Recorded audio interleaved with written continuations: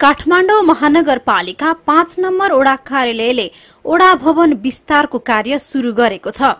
हाल सञ्चालनमा रहेको ओडा भवन छेउमै नयाँ भवन निर्माणका लागि बुधबार जग पूजासँगै शिलान्यास गरिएको हो।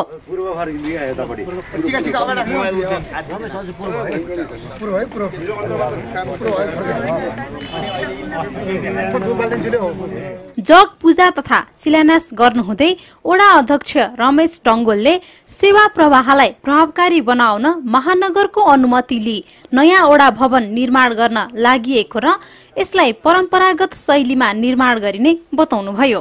हाम्रो चाहिँ भवन चाहिँ छ तर यो यो चाहिँ मेरो भवन चाहिँ अहिले हाम्रो कार्य सम्पन्न गर्नको लागि पर्याप्त नभएको हुनाले अहिले हामीले नै अब यो नगरपालिकासँग काठमाडौँ मार्गसँग स्वीकृति अहिले यो चाहिँ हाम्रो आफ्नै वडाको बजेटले अहिले सुरु गर्न लाग्छौँ अब यो सुरु चाहिँ खासै अब अहिले यो तिन तला बनाउने हाम्रो योजना छ।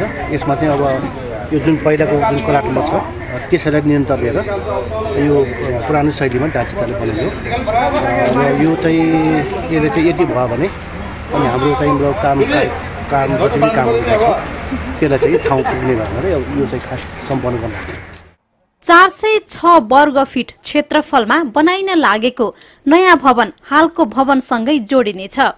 पिल्लर सिस्टममा निर्माण हुने तीन तला अग्लो यो भवनको निर्माण लागत पैंतालिस लाख रुपियाँ अनुमान गरिएको छ। ओडा कार्यालय मार्फत निर्माण सुरु यो भवन आगामी चार महिनाभित्र निर्माण सम्पन्न गर्ने लक्ष्य लिएको छ।